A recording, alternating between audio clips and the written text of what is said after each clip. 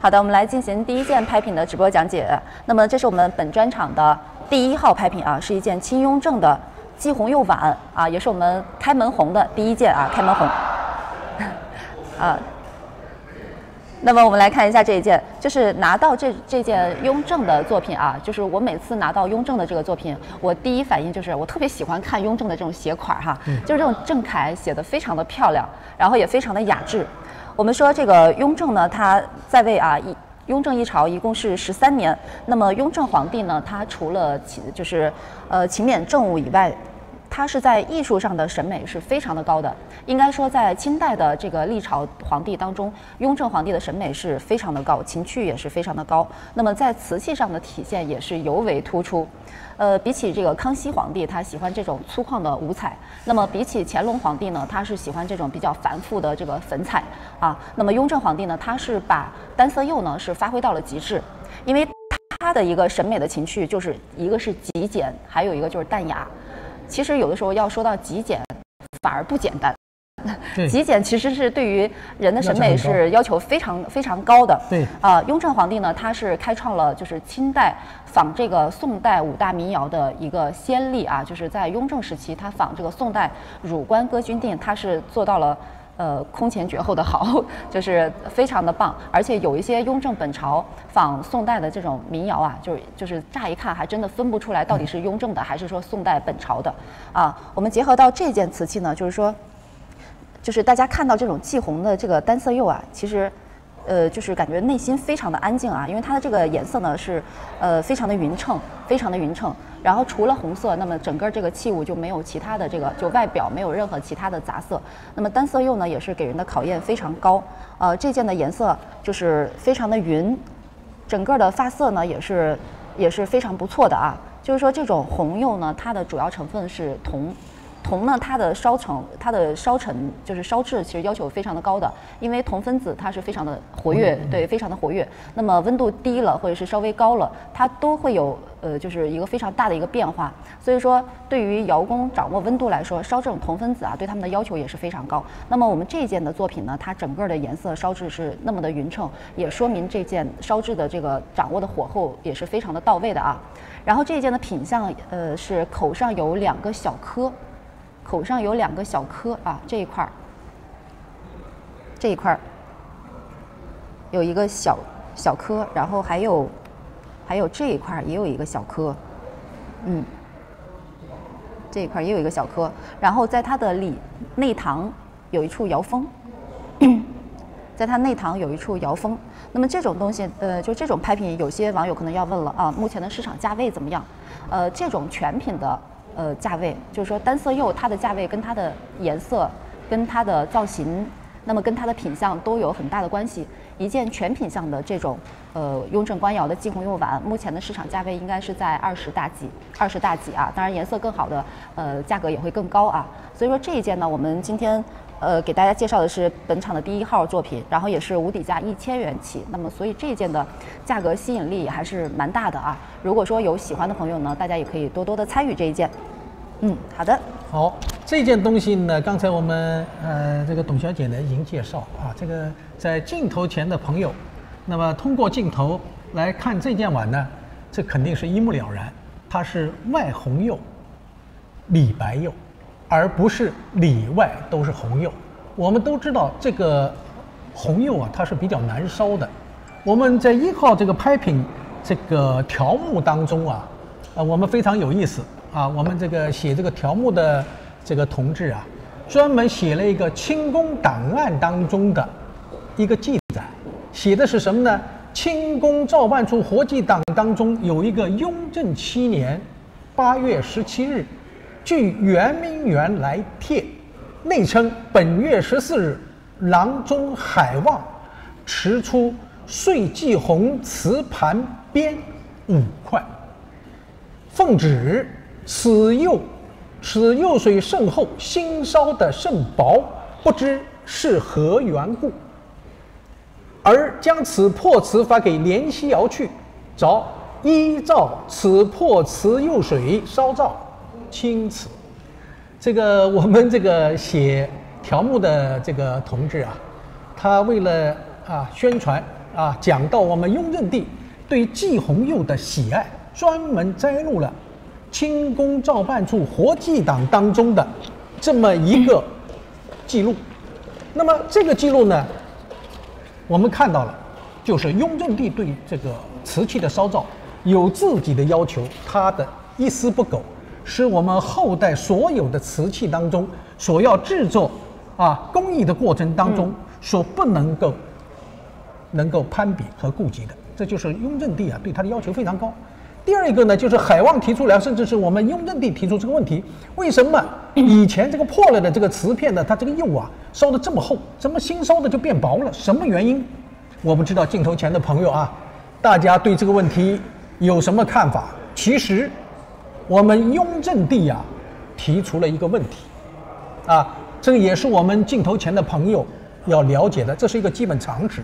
我们都知道，清代祭红釉和明代祭红釉烧造啊。它是不一样的，不一样在什么地方？首先一个不一样，就是明代永乐、宣德时期的鲜红和宝石红，它是用石灰碱釉烧造的，而清代是用石灰釉烧造的，这个就是首先要强调的，它配比不同。那么这个配比不同，它结果也会不一样，烧造的环境也不同。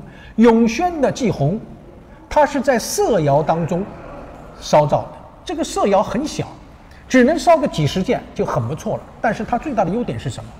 它的室室内的这个窑内的温度比较均衡，比较的平稳，所以对于铜这种活跃的矿物元素，在这种条件底下，它这种颜色才能充分的还原，能够达到饱和。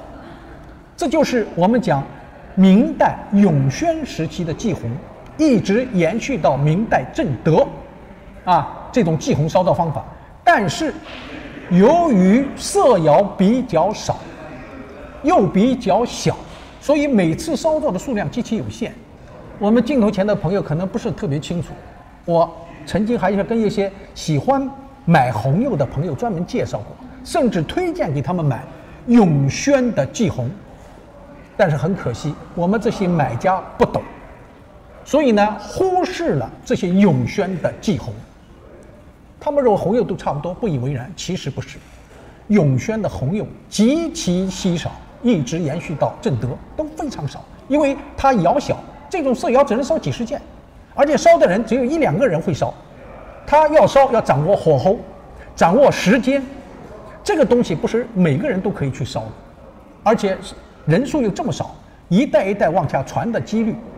也是比较少，所以到了明代正德年间，这个季红就失传了。所以我们到明代嘉靖时候看到的都是矾红来做红红釉的低温红釉，因为它没有办法来烧造石灰碱釉的这种季红。啊，这个是我要强调的一点。第二条就是我们清代的工匠为了继承明代这种红釉的烧造技法。也进行了多次的，或者说若干次的实验，均以失败而告终。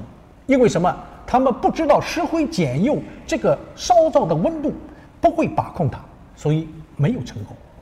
但是我们的窑工们是非常聪明的，既然我们石灰碱又烧不了，怎么办？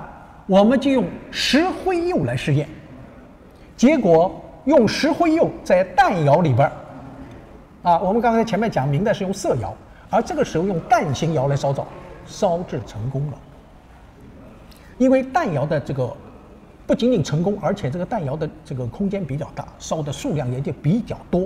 所以我们在清代看到红釉从康熙一直到清末，这种红釉见的数量还是比较多的。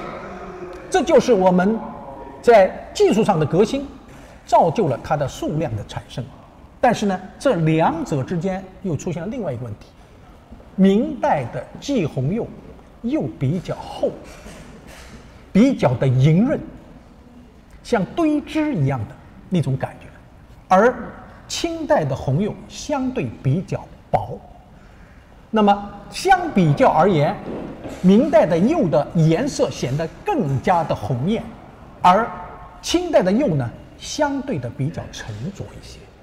那么刚才我就来回答这个问题：为什么雍正提出来说，哎，为什么前面一批烧的厚，而后边一批又变薄了？这很显然，薄和厚之间颜色会发生变化。是的，所以雍正七年这个提出了要求，下谕旨，你必须叫年喜窑按照前面又厚的这个来烧。嗯，我喜欢这个颜色。那么这个问题呢，只有唐英能回答。别的包括联喜窑根本嘛无法搞清楚这个问题所在。我们知道一个问题，什么问题？我们中国这个瓷器釉啊，为了得到像玉一般的效果，能够像凝脂一样的效果，它采用了多次上釉的办法。而这种多次上釉，在明代的呃，在于呃南宋的官窑、南宋的龙泉窑当中，以及钧窑当中，多次采用。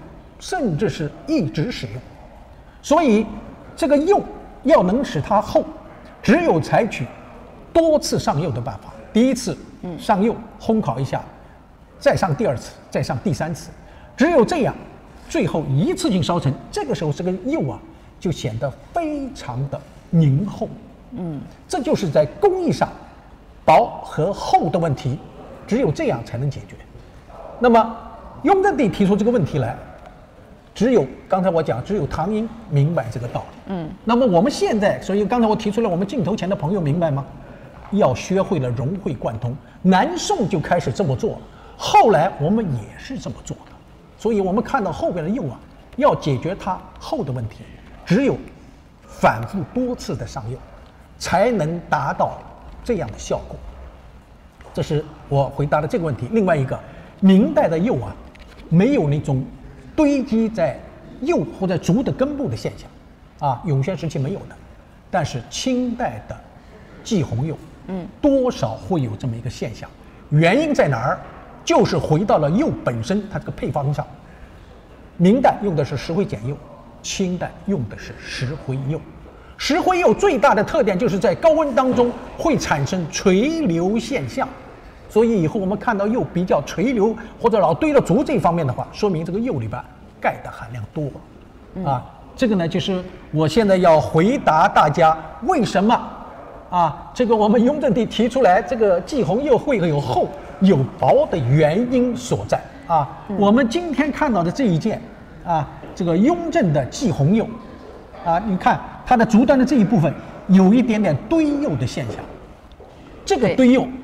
就是它用的是石灰釉，它必然会出现这个现象。而明代永宣时期的这种石灰碱釉，它在高温当中是不会产生垂流现象的，啊，这就是两者之间的区别。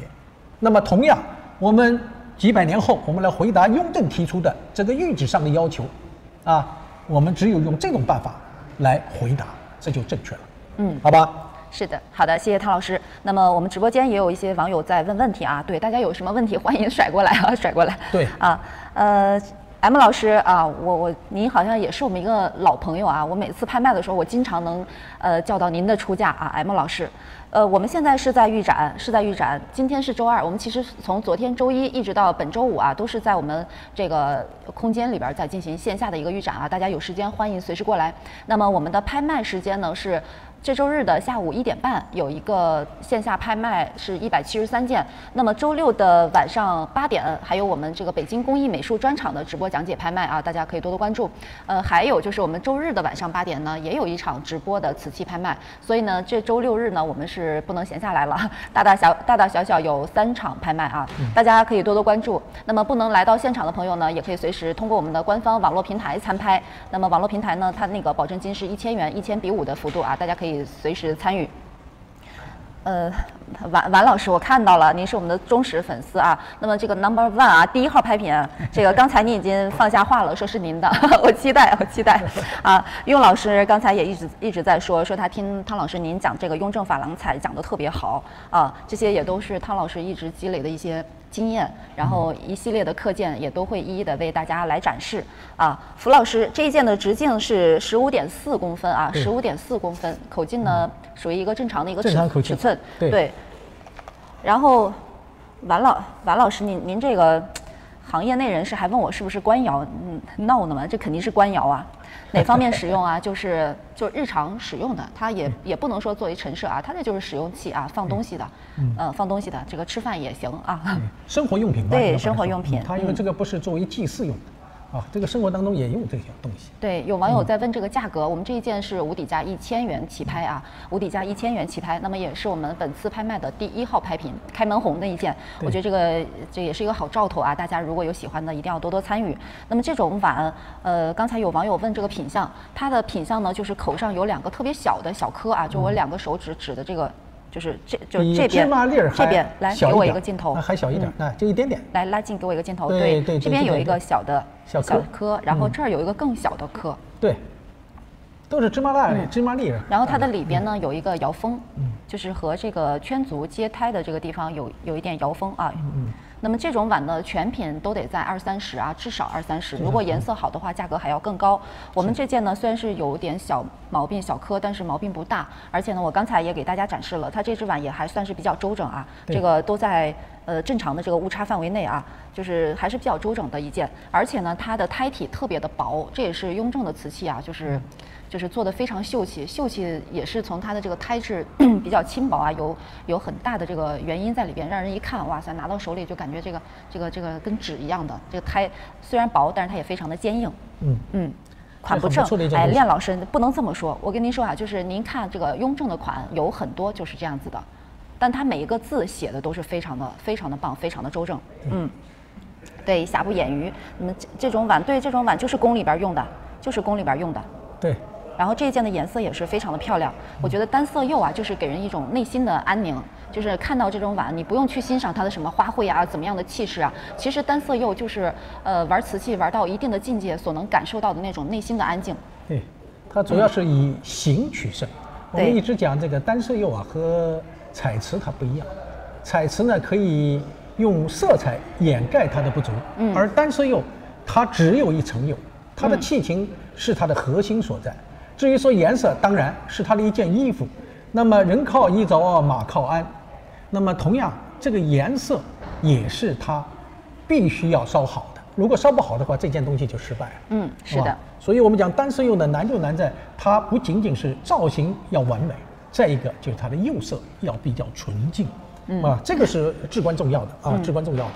好的，那么这是我们第一号的拍品啊。如果大家有任何问题啊，随时甩过来，我们一起来交流。哎，对，啊，我们一起来交流。对对对。那么，我我跟汤老师其实今天下午是准备了一些好东西给大家推荐。呃，但是我看刚才也有网友啊，就是自行告诉我们需要想要看哪几件哪些。呃，我觉得先应大家的要求，我们先就是大家点的哪一件，我们先看好吗？来，来看下一个，就是刚才有网友说想看第十号拍品。第十号。哎呀，这个直播的好处啊，就是大家收看我们的直播，想看哪件点哪件。啊。这个，嗯，这一件我先给大家看一下它的品相啊。第十号，哦，第十号是一件全品相的一件啊。来，我给大家展示一下。这件是刚才有网友想看的第十号拍品，青花呃青道光的青花云龙纹盘。那么这一件口径呢是十六点五公分啊，十六点五公分属于一个中号的一个尺寸吧。对。呃，然后它是一个道光年间的，大家看一下底部的这个款式，落的一个非常标准的道光的官窑款。大家不是好多人都喜欢官窑吗？我们这件也是标准的官窑，包括包括刚才我们那个第一号的拍品啊，雍正的红釉碗也是一件标准的官窑。对，那么这一件品相呢是全品相，无任何的瑕疵，无任何的瑕疵。大家也就是呃，那么再看一下这个青花的发色呢，也是没得可挑的啊，也是没得可挑。呃，那么这种盘子呢，我觉得玩瓷器的朋友啊，应该就是能经常见到这种画片，呃，就是青花云龙。青花云龙纹盘，然后在它的背面呢还有两两条龙，那么两条龙呢，它朝一个方向去的话呢，就是叫双龙赶珠；还有的是两个龙龙头相向的话，我们一般叫它双龙戏珠啊，呃呃双对双龙戏珠对，没错，嗯。然后这一件呢，我觉得需要跟大家呃就是在一起探讨的，就是呃汤老师也经常教我的啊，就是它表面的这种波浪釉哈，波浪釉就是迎着光，我也给大家。可以感受一下它的这种波浪釉，那么这也是一个时代的特征。呃，在雍正以前的瓷器上面几乎是很少没有，对，应该就是没有波浪釉。那么在雍正以后呢，它因为这种烧造的工艺、施釉的工艺呢，就产产生了这种波浪釉啊。就是也有不带波浪釉的啊，它不是说也不是说所有的都是波浪釉，嗯，这个呢，波浪釉的产生啊，一个是釉的配置，那么如果氧化钙的含量少了，那么这个时候呢，釉白了，嗯，但是呢，在烧造温度和时间这个掌控上边，如果有所失度，就会出现波浪，啊，这就是我们讲减少了钙作为助溶剂以后会产生的这么一个结果。那么在道光时期呢，这种现象还比较多，不仅仅我们讲官窑器上啊经常见到，在民窑当中也能见到。那么这种现象的产生呢，主要是在雍正晚期开始出现的，啊，因为我们都知道这个珐琅彩的白釉啊，因为珐琅彩只有在白釉上上彩，这个色彩才更加的艳丽。那么雍正呢，为了追寻或者说继承康熙时期的这种珐琅彩，创新了。是吧？釉上上彩的这种先例，所以对釉的要求非常高。同样的道理，粉彩也是这样。那么这就必然会出现一个不可或缺的现象，就是釉面会产生一些波浪。那么这个呢，在雍正的粉彩当中最先出现，而在珐琅彩当中恰不太见得到。嗯，那么这就是我们要掌握它从什么时候出现。一直延续到什么时候？这就是我们每一个学鉴定的人必须要掌握的一个基本常识。嗯啊，是的，是的。那么这种盘子呢，它也是清朝历朝历代都要烧制的一件就是传统造型啊，一个传统造型。嗯，呃，那么这这种呢，就是。呃，看它这个龙的画法，其实每个朝代呢，它还是略微有一点点不同啊。嗯。呃，从这个清三代开始，一直到晚清都有烧造。呃，这一件的起拍价格是两万啊，两万。刚才有网友说，这这个盘子随随便便也是十几万的价格了。您您太懂行情了，的确是，就是说这个全品相的两万起拍，呃，的确这个价格太有吸引力了。而且呢，这个道光的这个龙呢，画的也是非常的凶猛，非常的画的也是非常的精细的一件作品啊。嗯。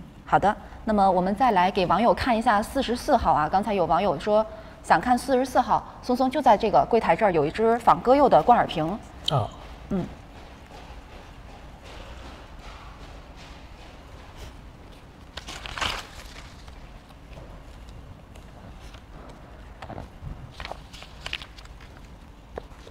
好，大家还有想看什么的，随时说啊。对。还有下一个，咱们再准备八十八号的小杯子。我们 M 老师想看那个八十八号。嗯嗯。好的，四十四号为大家已经准备好，我先看一下品相。那么这一件呢是四十四号啊，清光绪的仿鸽釉冠耳瓶，仿鸽釉的冠耳瓶。然后品相呢是口沿抱釉。嗯，来，我给大家展示一下，扫一下这个口沿一圈。口沿有有抱釉，比较小啊，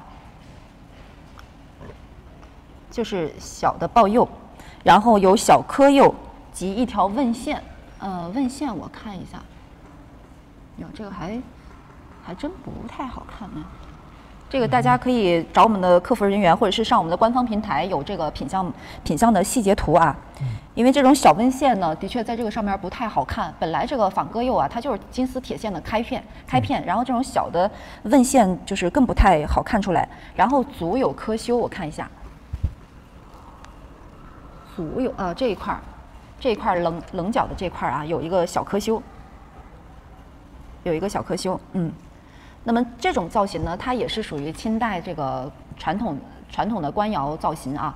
然后呢，它是呃两个冠耳，然后中间呢其实应该呃我看啊，这个这个好像没有那个信源，有有是吗？有嗯有。那么中间呢，这其实还有一个信源啊，用手摸能摸得出来，用手这个摸能摸得出来。然后呢，看一下它的这个底部，底部带款。底部是落的这个大清光绪年制的这个官窑款啊，那么这一件也也是标标准准的这个官窑无疑啊。我们知道这个晚清官窑呢，在这两年的行情是，呃水涨船。那么青铜器当中呢，也有这种造型。到了宋代以后呢，因为更多的市民化以后啊，这个坊间呢就把它做成了头壶。那么头壶当然跟这个造型呢有的还不一样啊，有的是变成圆圆镜的，这个我们这个是窝角，嗯，长方形的，它是圆的。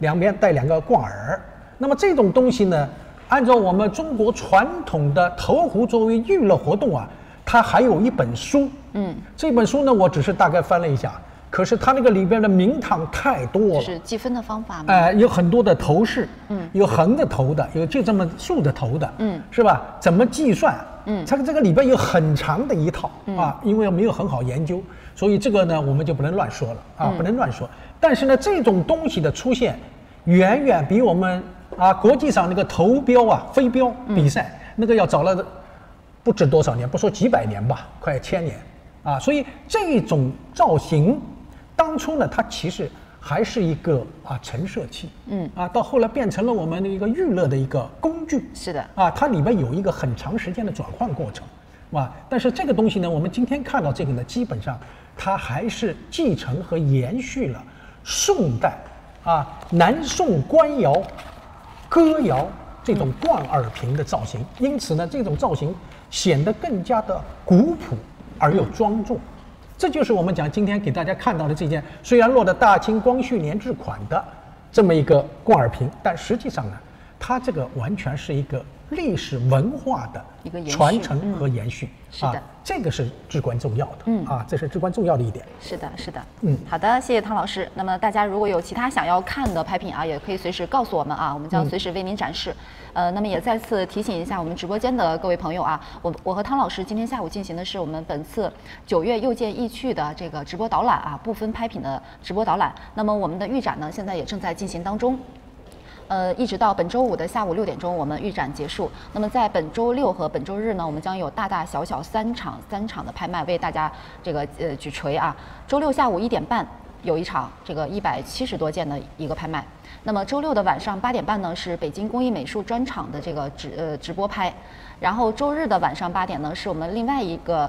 瓷器专场的一个直播拍，其实都是跟瓷器有关的一些拍卖会。对那么工美专场呢，也是一直以来受呃受到大家非常多的一个关注啊。这个拍出来的几只壁屏啊，也是呃让大家记忆犹新啊，也是记忆犹新。那么这次呢，也就是就是经过一段时间的筹备，我们本周六呢将继续推出这个工美专场，全都是来自北京工艺美术博物馆的库出的拍品啊，嗯真的就是。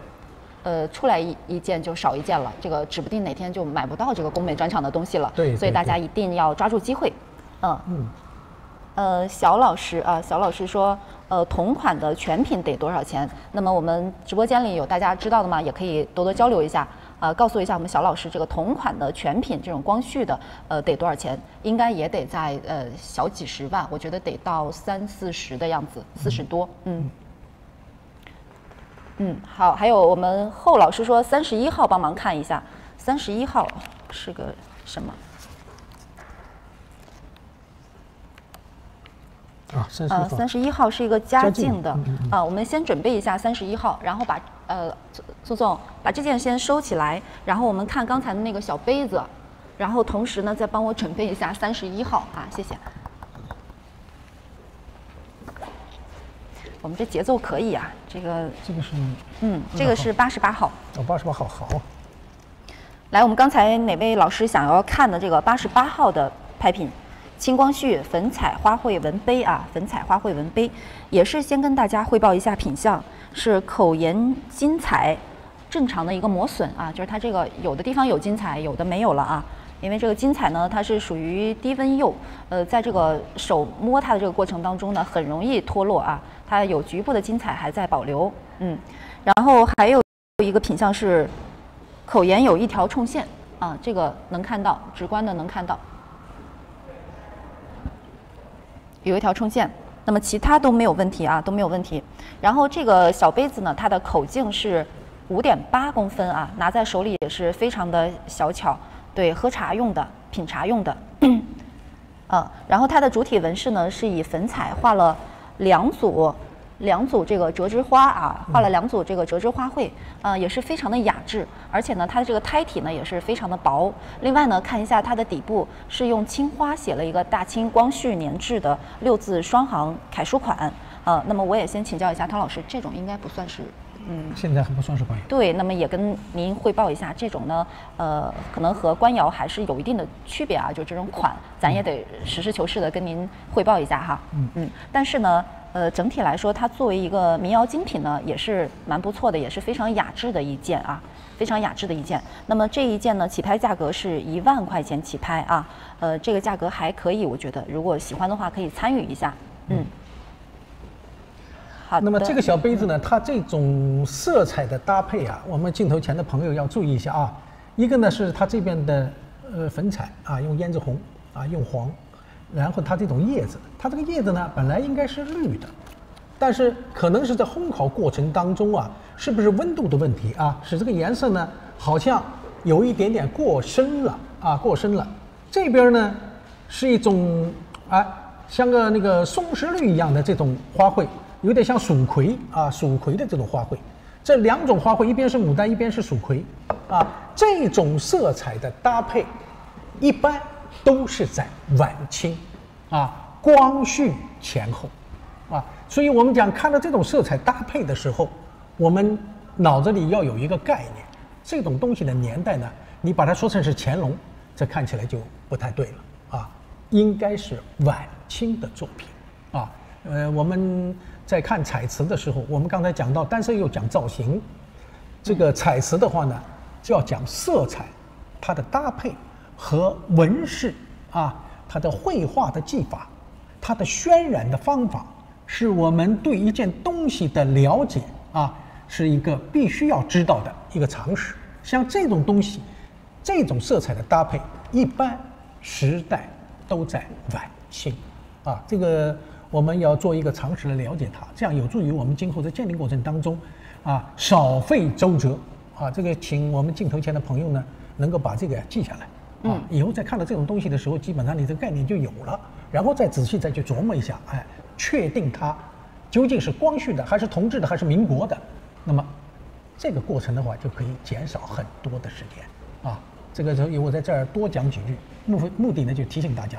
要认真的注意每一个图案的绘画技法、色彩搭配啊，这个是至关重要。是的，那么这个小杯子也是非常的雅致啊，嗯，然后可以多多关注一下。嗯，好的，我们来换下一件。好，来，松松，嗯，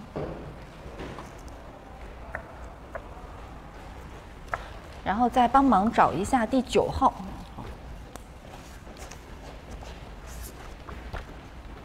这是三十一号。这个就在这边一个小碟子。嗯，三十一号，我们来看一下它的品相啊。那么这一件呢，是我们刚才有位网友啊想要看的第三十一号，呃，也是我们本专场啊数量为数不多的明代的这个拍品其中之一啊。这是一件明嘉靖的白釉暗刻云龙纹的高足碗，然后它的高度呢是十点六公分啊，十点六公分。作为一个高足碗呢，它还是比较呃小巧的一个一个小碗哈，比较有意思。然后它的品相是口沿吊片已修，嗯，口沿吊片已修。那么在这个自然光下边已修已经精修过的这种啊，我就不太好给大家展示。呃，如果说感兴趣的话呢，可以到我们这个公司的这个官方平台啊，官方平台里边有紫光图、细部图都有啊，都有。然后我们来看一下这种碗啊，这这种高足碗呢，其实啊，它最早也是来源于这种游牧民族，对吧？然后它因为它是游牧民族嘛，它是一个马上民族，所以呢，就是不管是这种高足碗，还是高足，还是我们看到那种高足杯啊，都是和这种马上民族的生活习惯有很大的关系的啊。有很大的关系，因为它骑在马上，它不能像我们平时吃饭端的那个碗那样，那那么这么这么去端着。然后这种带有这种高足的呢，它骑在马上拿起来就会非常的方便啊，这也是由他们当时特定的一个生活习俗演变而来的。然后这种这件碗呢，它其实里边是带有暗刻云龙的啊，大家可以看一下，在它的碗心里边，呃，在它的碗心里边，这个得找到一个合适的角度给大家展示。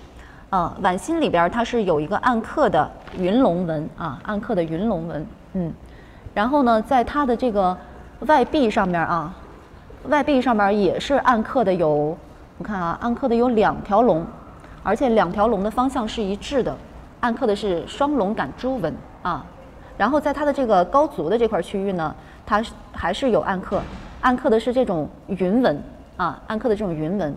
其实带有暗刻啊，尤其是暗刻龙纹的这种东西啊，都是非常的高级的啊。好多好多那个有些藏友啊，买这种白釉的东西啊，他买的时候没太在意，有的时候可能回买回去之后，仔细的，呃，这个没事儿在那儿仔细研究的时候，哎呀，突然间发现里边还有暗刻的东西，那都是捡了捡了宝了，那就就立马这个价位翻十倍都都不夸张的啊。所以说带有暗刻的东西呢，大家一定要注意了，就是就是仔细观察一下它暗刻的这种纹饰。那么龙纹呢，也是皇权的一个代表，所以说这种呃这种带有暗刻龙纹，它的级别也是蛮高的。然后我们再来看一下它的这个它的这个足内啊，落的有大明嘉靖年制的官窑款啊，大明嘉靖年制的这个款啊，这个这是落的一个青花款啊，写了这一圈儿啊，也是一个非常标准的一件作品啊，非常周整。嗯，骑马吃饭 啊，有啊，贾老师说网上同步拍吗？对，我们是网上的同步拍，我们线下也有拍卖啊，周六就开始了。从哪拍？来我们现场也可以。那么从这个这个我们公司的官方平台参与拍卖也可以。那么包括我们现在同步直播的有好几个平台啊，那个有其中就其中有一个什么拍平台，你也可以参加啊。讲什么啊？来，嗯，那么这件东西呢，其实你看，我们早上看那个命题局的那个那个碗，看见没有？嗯嗯你看把这个地方去掉，你看碗是不是这个造型？哦，还真是青花的那个。哎，对呀，所以明代嘉靖这就不错了。这件东西呢，因为它是白釉刻暗花，釉面呢它是比较肥润的。那么这种白釉呢，和我们讲天顺年的那种猪油白，啊，包括成化早期的那种这个白啊，还略微有一点点偏灰色调。这恰恰是明代嘉靖时期的，包括官窑器在内的它这种白釉的一个特色。嗯，但是呢，它的釉非常的滋润和肥厚，啊，这明显就非常肥厚，是吧？那么这个釉里边呢，我们又回到了我们刚才讲的那个问题上，它的釉里边氧化钙的含量要略比明代天顺和成化早期的要多那么一点点。为什么？它的釉面，你看没有？肌釉这个地方有一种像那个 青白釉的那种，嗯哎，那种清亮的、淡淡的一种蓝色调。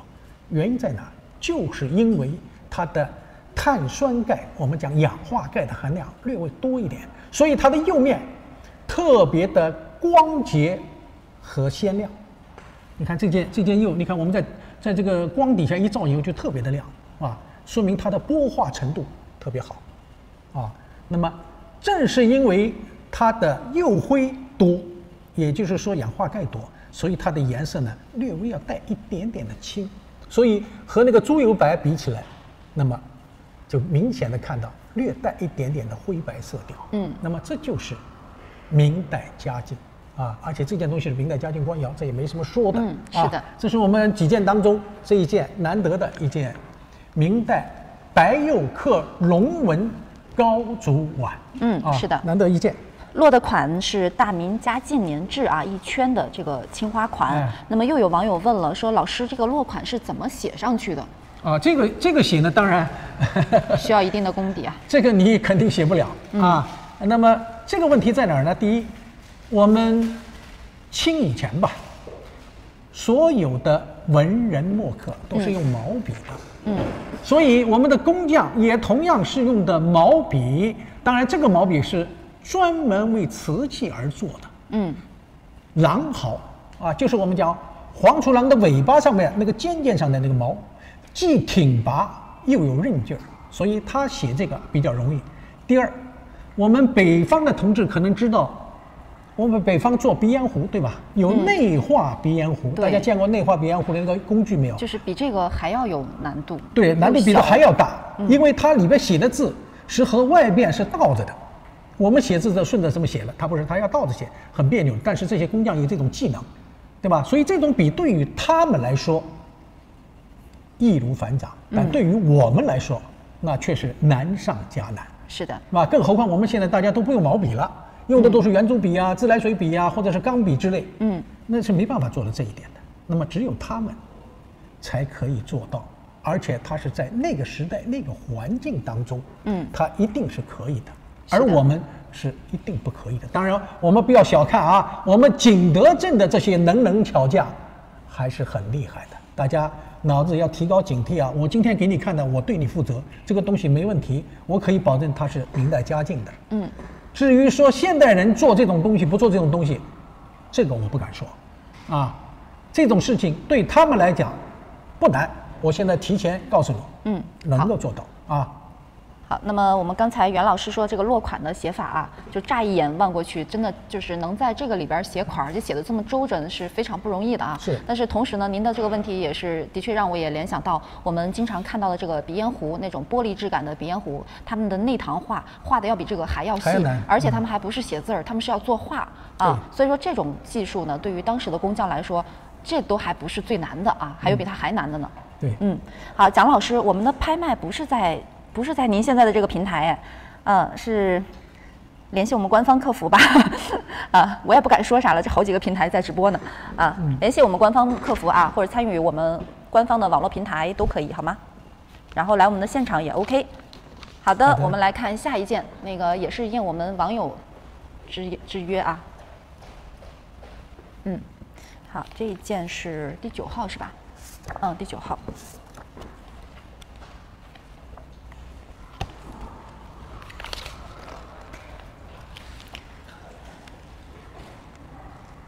好的，我们来看一下刚才我们某位网友要看的这个第九号拍品，是一件清乾隆的青花福寿纹小碟儿。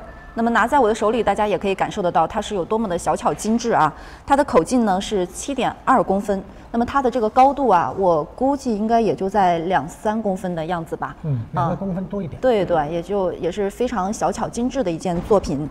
然后这件品相呢，我刚才也给大家看了一下，是一件全品相的拍品啊，非常难得。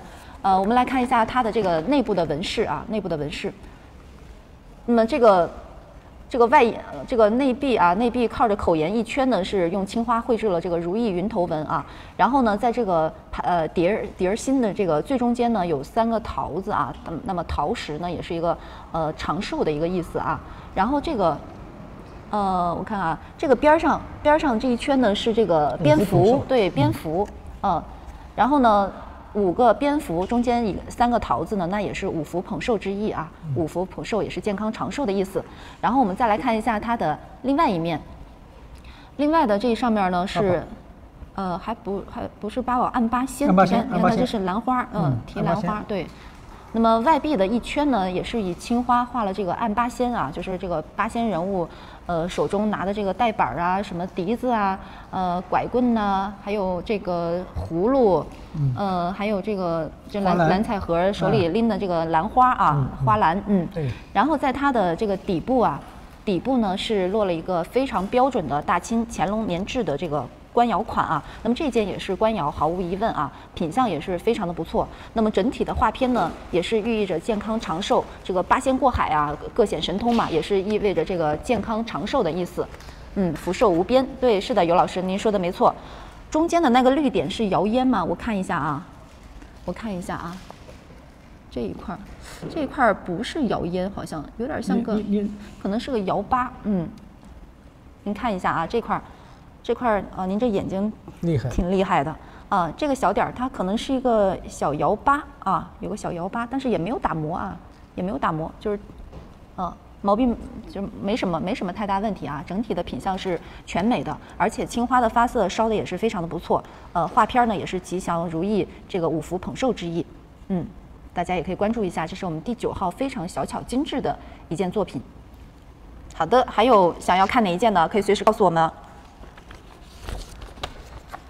行，这件小碟子呢，因为尺寸比较小，啊，就这么一点点，所以这个在制作工艺上啊，它的这个水准呢要求的就非常高。刚才我们在仔细看东西的时候啊，就讲到了这么一个问题，像我们这种年纪啊，那么看这上面的这种纹饰都吃力，你可想而知，当时御窑厂的工人，那么画这个东西的时候，可想而知，他这个眼力和自己的功力有多高。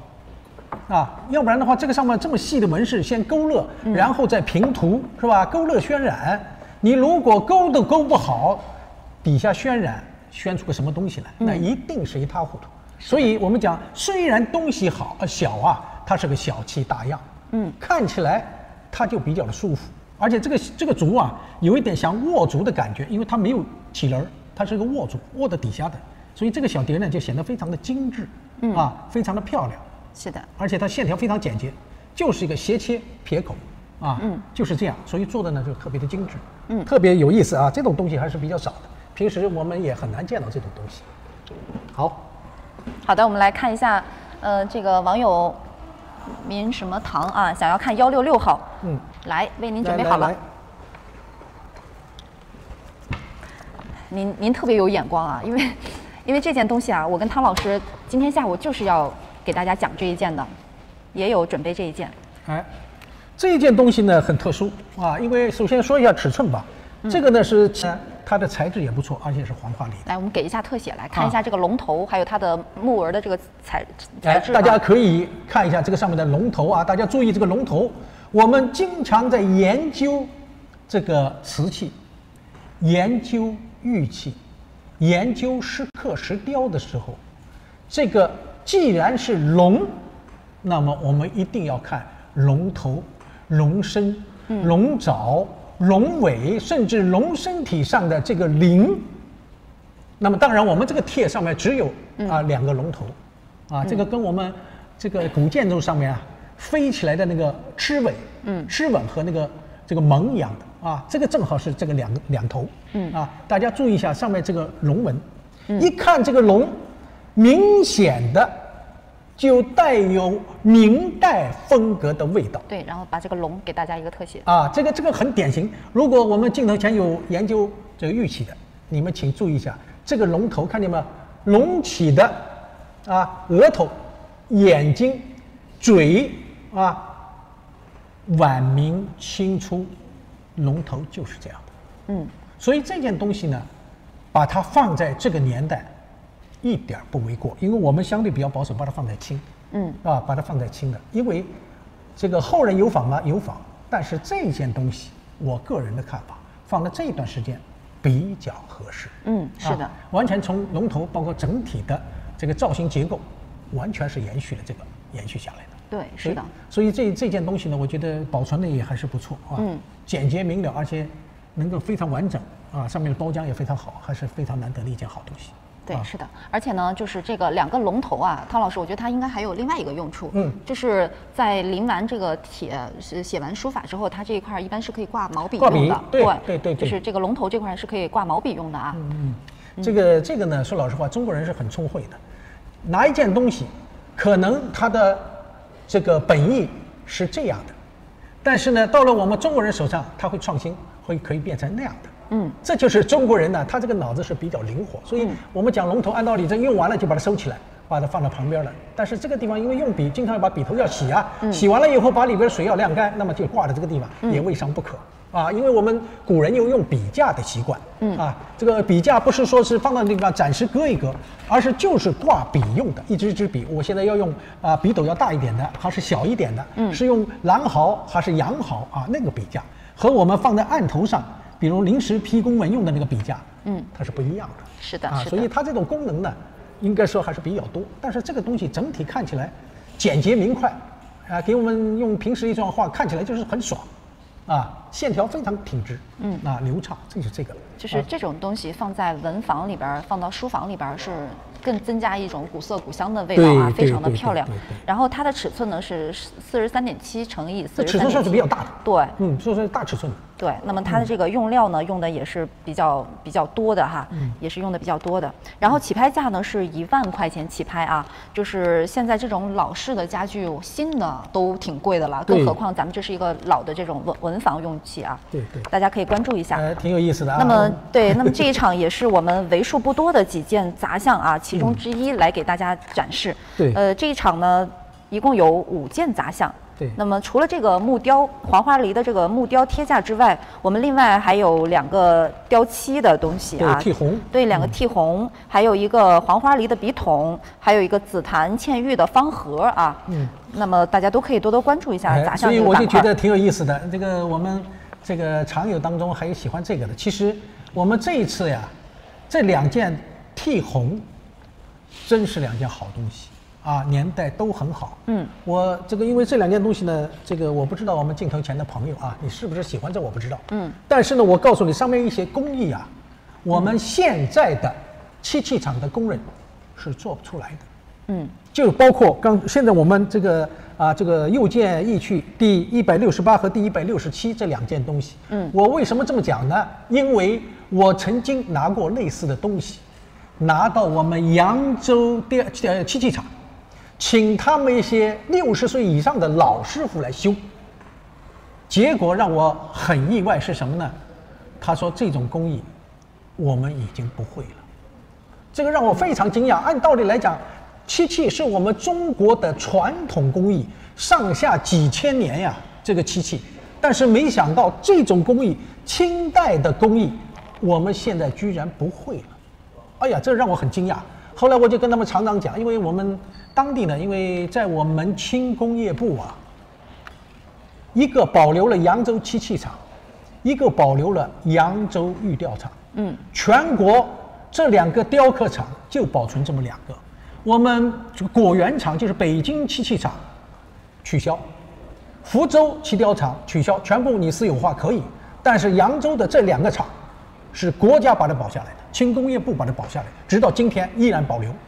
那么这种有这么深根基的厂，居然都不知道该怎么做。嗯，我真的很意外，很意外。我当时带的是一个是乾隆的，一个是明代的漆器，让他们去修，他们修不了。所以我们讲到这些时候呢，讲到这种东西的时候，有的时候不免有些遗憾。我带木带这些东西回去的目的有两个：第一，让他们能不能修好。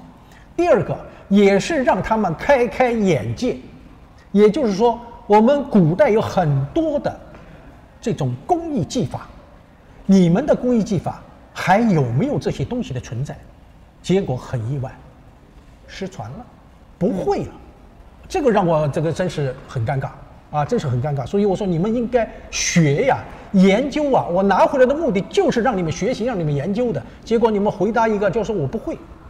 这个让我真的是太失望了，所以讲到这个事情呢，当然我们跟我们的鉴定和收藏没有什么关系了，但是这也让我们知道，我们中国传统的一些工艺啊，在逐渐逐渐的失传，这个呢，让人有一种非常大的遗憾。所以我特别希望就是我们的一些藏家们，在除了搞瓷器的收藏以外，我们的眼界要更宽一点。要看到我们中国上下几千年流传下来的一些工艺啊，要得到我们众人的保护，才能传颂万代。我们讲过去青铜器上叫子子孙孙永保用，我们几千年的古人都知道这个，可是我们现在人很多人根本就不知道，这不顶不然不让人遗憾，好吧？所以这个话呢虽然是题外话，但是这些东西摆在这个地方，我们很多人不懂不知道。这个是让人遗憾的啊，这是特别让人遗憾的一件事情。嗯，那么也是跟大家再重复一下，我们这场拍卖呢，不光是有瓷器，那么我们还有呃面前所摆放的这个木器，还有汤老师刚才所说的这个剔红的漆器啊，还有这个。紫檀的这个窝盒、方盒，黄花梨的笔筒啊，有几件杂项也是挺不错的啊，大家有感兴趣的也可以多多关注。对，呃，刚才我们明老师问这一件的起拍价是多少？起拍价是一万块钱啊，明老师。呃，直播间的千老师说啊，这就是个书夹子啊，您说的是通俗易懂啊，通俗易懂。我们现在我们现在是呃好多人是叫这种叫书夹子的，汤老师您您可能不知道，就现在孩子们呢，他有卖的那种跟这个样子差不多，但比它小的，然后上面这带有一个现代现代的夹夹子，对对。啊，然后这个是古人的书架贴架用的啊，啥时候拍？我们这周六的下午就开始拍卖了。那么周六的下午、周六的晚上，还有周日的晚上，我们两天三场拍卖啊。对，好的。那么大家还有感兴趣的，可以直播间打出来啊，我们随时调阅给大家看。好的。来，这一件先收一下，这件我也很喜欢，而且两个龙头我觉得特别霸气。你看看这个架势，它实际上不是跟电脑一样吗？它可以收起来。电脑不是也是打开斜着的吗？一样，清代黄花梨，嗯，龙首铁架。我们中国人呢，对，尤其是从小开始，就给我们的孩子们灌输一个思想，要学文化，要学会了写字。那么这个东西干什么用的呢？就是给孩子们练帖的。因为我们古人呢，过去喜欢把那个比较有名的碑，用宣纸把它拓下来。因为这个碑的雕刻，碑这个碑刻艺术啊，在我们中国传统文化当中，它是一个非常重要的一环。这个上下几千年，这个碑帖啊，它所传承的这个文化，一直延续至今。所以我们到现在很多人还在家里练毛笔，而这个东西呢，就是当年嗯放这个帖用的，啊，那么这件东西呢，因为它的尺寸多少呢？四十三点七乘四十三点七，这就是它的一个正方形的。嗯，但是它这个帖呢，这个东西是可以立起来的啊，它可以立起立起来放，因为我们从小孩子开始啊到大人，这个东西都能使用，老人都可以使用。你只要练毛笔字，你拿这个帖，不管是啊哪个大家写的字，我们这个帖啊都可以放这个上面，把它舒展开，然后在这个地方开始。练啊，练这个字，这种这个铁架呀，的确，我们讲到了明代的家具啊，嗯，我们会经常会说到它线条简洁而流畅。实际上，这件东西本身呢，它就是沿用了明代的这种制式，所以我们看这个线条，你看到没有，就等于是一个框框一样，嗯，但是这个框框的线条虽然很简洁，但是非常的实用，就跟我们。这个讲我们这个明代的家具一样，嗯，那包括外国人对中国明代的家具是认可有加，认为这个明代的家具符合人体结构，是吧？虽然它只有几根柱子、几根线条，但是它所起的作用对人体的健康都有好处。那么同样，这个铁也是如此，因为我们看到这个啊这个铁架的时候，我们就想起什么来了？想起我们练钢琴啊，那钢琴架上面那个谱啊，琴谱也是这么放的。是的，大家想一想，钢琴什么时候出来的？我们这个这个字帖的这个价值什么时候出来的？相差的远了去了。嗯，是的，对吧？所以这件东西呢，高啊，行情见涨，所以呢，这种呃传统官窑一直也是受到大家这个藏家的一个喜爱。那么这一件呢，我们。这次是十万元起拍啊！如果说有感兴趣的朋友呢，也可以多多参与一下这一件啊。呃，那么这种这种造型呢，它其实也是仿这个青铜器的造型演变而来。那么最早呢，它是叫做头壶啊，就是在古代的时候，古人们在一起这个喝茶饮酒的时候，作为玩乐的一种。呃，一种器物吧，因为它最早是一个青铜器那种铜壶，然后呢，就是往里边插这个甩这种跟剑一样的那种镖，然后就是插到这个里边是叫呃叫怎么个重法，然后插到这两边呢又有不同的计分的方法，然后呢每个人大家都可以参与，所以呢这是古代作为这个呃作为这个玩玩耍的一个娱乐的对娱乐的一种工具啊，那么古人呢是。这个没有其他像今天的人，大家一人抱一个手机可以 就可以做半天。古人呢是这个饮饮酒喝茶，然后在这个喝茶之余呢，大家还可以作为一种娱乐啊。这也是从它的这种呃之前的造型演变而来的啊。嗯嗯，这种东西呢，其实我们刚才这个董小姐已经讲了，它最早呢是出现的，其实在我们的南宋官窑当中就有这种造型，而且呢底下足端呢还有开孔。有的时候呢，我们把它叫做穿戴壶，上面带盖儿。